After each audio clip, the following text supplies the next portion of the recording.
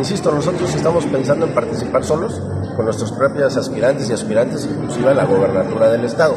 Como se los he dicho, hay tres aspirantes que ya se acercaron con un servidor para participar. Daremos a conocer sus nombres pasando el proceso nacional. El, tema del secretario Julio Huerta, no sé si haya eh, alguna línea a mí no me consta, a mí no me han llamado ni me han dicho que tendríamos que apoyarlo, yo solo apoyo al, al, Partido Verde y a, las, y a los aspirantes del Partido Verde. En caso de que se concrete alguna alianza con el PT y con Morena, ¿ustedes estarían sumando a estas aspiraciones o apoyando a Julio Huerta? Mira, cuando se concrete una alianza es porque ya hay pláticas y construcción previa, donde las plataformas de cada partido se consolidan para buscar el bien de los tres partidos. No pasa primero por la persona y luego por los partidos. Es al revés en política, siempre es al revés. Primero son los partidos, primero son las plataformas y después son los candidatos. Como no se ha construido al día de hoy, sería muy aventurado o hablar de algo que no existe. Hoy ¿Lo ve difícil?